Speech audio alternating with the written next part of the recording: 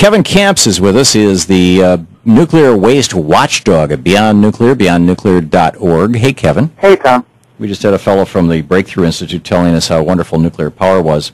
Mm. Uh, actually, he was trying to. He, he, we kind of got sidetracked on carbon taxes and my being crazy. But in any case, I understand that uh, a the the guy who is sort of the original hero of Fukushima, who stayed and tried to keep the plant from melting down, just died of cancer, and yeah.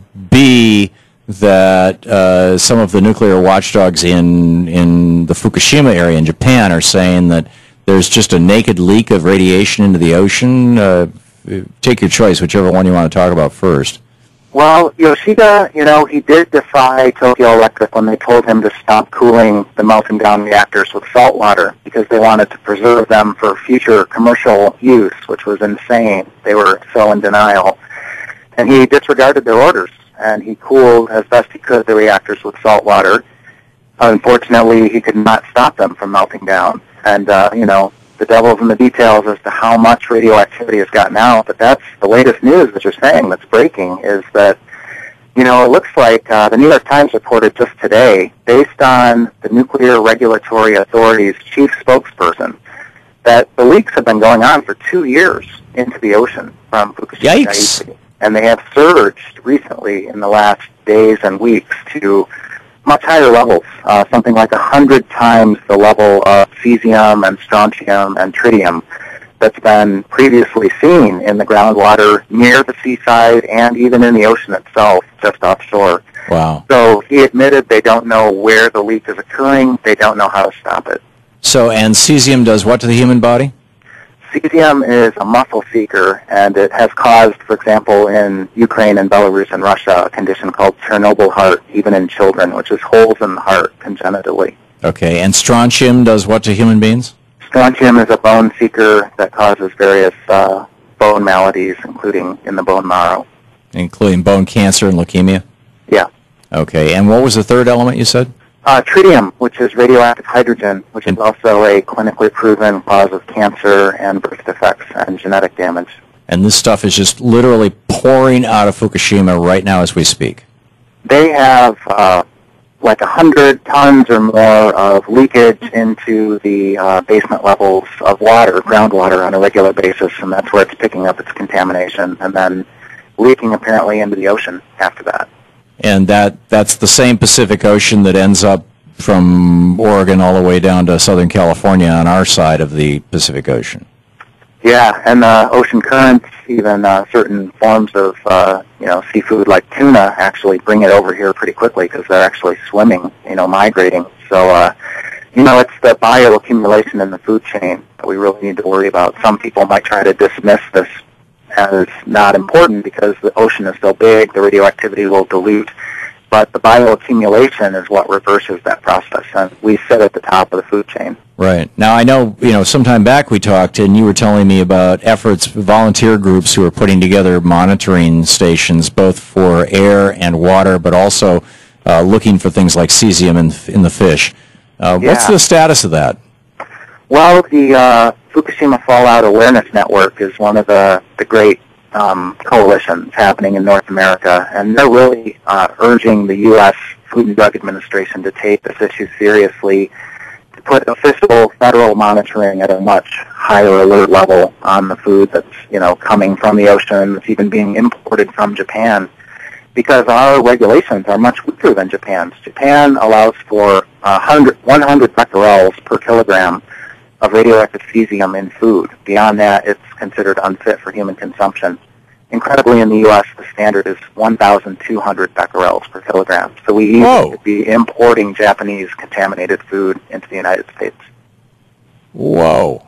And is is this uh, Japanese contaminated food that is too radioactive for Japan, so they're exporting it? You're talking about seafood? Uh, all all food. Um, even crops that are being grown not just in Fukushima Prefecture, but in adjacent prefectures. So like rice? Yes, you name it. I mean, I've uh, checked the International Atomic Energy Agency uh, website from time to time to see the list grow of the various foods that are being contaminated in Japan and at, at certain different levels. Now this is this is what could be and what the levels are. What is actually being measured? You have, you know, like, uh, you know, hey, this group of, of 15 people in Portland, Oregon just discovered, you know, in this restaurant, you know, salmon that kicks a Geiger counter at this point. Is there anything like that? I think it's still in the initial stages to try to set up those kind of systems. I mean, it's even been forced on the people of Japan to do their own food analysis because their government, which is in bed with the nuclear industry, isn't doing anywhere near an adequate job. So, for example, there's a family in uh, Kyoto, I'm sorry, in Osaka, that has set up its own food monitoring system. They paid something like ten thousand or fifteen thousand dollars to acquire it from Ukraine, of all places, who has mm. to deal with the aftermath of Chernobyl. And they are checking the food not only for their own children, but for their children's schoolmates. And mm. so hmm. they've set up kind of a single elementary school growing its own children's food supply. But that's and what are they finding? Well, um, I haven't heard recently, but they are on guard against uh, their children eating any contaminated food above a certain level. Yeah, amazing. And that above the certain level, the, the, that's where the devil's in the details because there is no safe level of radiation. That's right. Artificial radioactivity is harmful. Carries the risk of yeah. cancer. Period. No nukes. BeyondNuclear.org is the website. Kevin Kamps, the Nuclear Waste Watchdog. Thanks, Kevin. Okay, thank you, Tom. Always great talking to you. If you want more information, get over to beyondnuclear.org. We'll be right back. A team of Japanese researchers is expressing concern more than two years after the accident at the Fukushima Daiichi nuclear plant. They found high levels of radioactivity in fish almost 100 kilometers from the plant. The scientists caught several Japanese sea bass off Hitachi City that contain levels of radioactive cesium exceeding 1,000 becquerels per kilogram.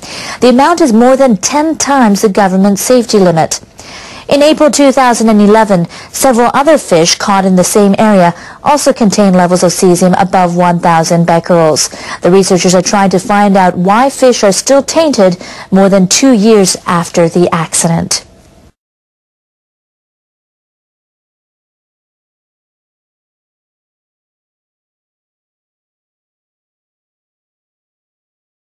I appreciate the tenor of the conversations. Uh, I think it will actually yield results uh, before the end of the year, and I look forward to continuing this dialogue in the months ahead. Thank you very much, everybody.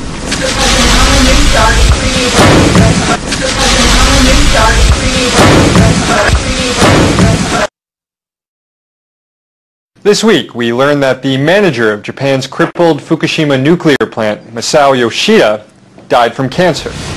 His illness reportedly had nothing to do with the radiation levels at the Fukushima plant that he worked in around the clock alongside a group of men referred to as the Fukushima 50, trying to contain the nuclear crisis in the days and months following the earthquake and tsunami. But although Mr. Yoshida's cancer can't be traced back to Fukushima, how many others in Japan may contract cancer in the future that can be traced back to Fukushima? On Tuesday, radioactive contamination of groundwater at the plant surged to levels 90 times greater than they were just three days ago. So what effect is the ongoing Fukushima nuclear crisis having in Japan, and what lessons should we be learning in the United States? Kevin Kamps is here. He's the radioactive waste watchdog at Beyond Nuclear. Kevin, thanks so much for coming on. Thanks for having me, Sam. So let's start in Japan. What's the latest when it comes to Fukushima, when it comes to Japan, in the short term, as far as getting the situation under control, and then in the long term, when it comes to what sort of health effects we might see from, from all these dosages of radiation over the last few years? Well, the best word I can come up with for what's happening in recent days and weeks at Fukushima Daiichi is hemorrhaging of radioactivity. And the scariest part of all is that they don't know where it's coming from.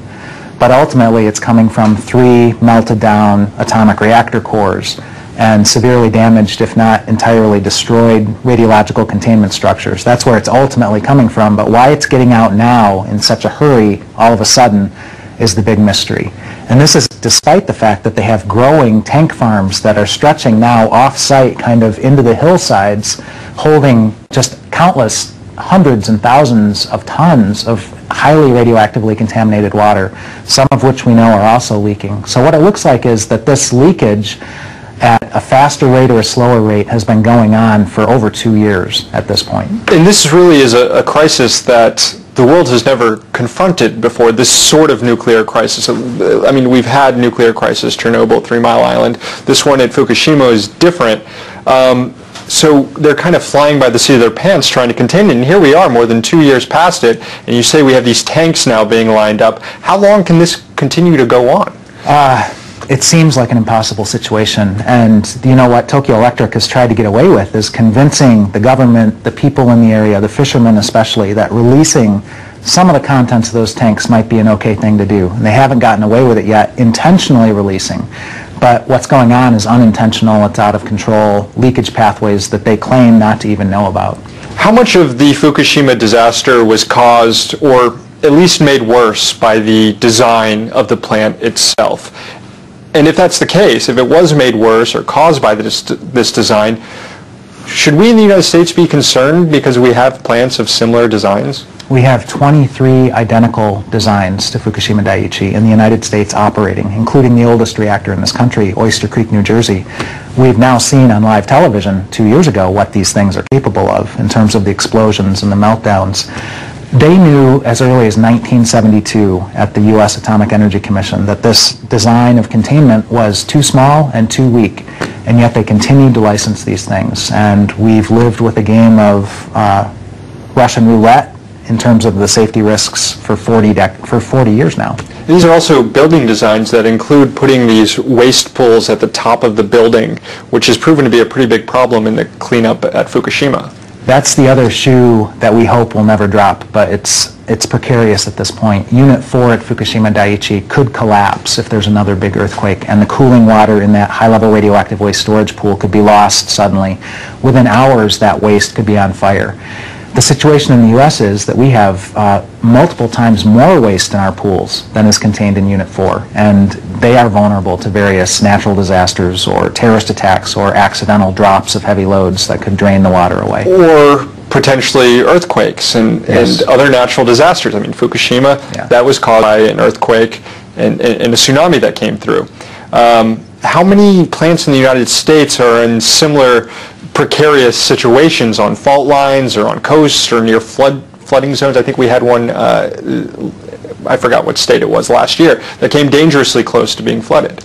Well, uh, Fort Calhoun in Nebraska has now been shut down for over two years, uh, since uh, April of 2011 because of the flooding out there, the damage that was done to the underground facilities. And just like in Japan, we are looking at the uh, imminent restart of that reactor despite the damage done, and they don't know how bad it is underground. So in Japan, they're trying to restart reactors despite Fukushima Daiichi.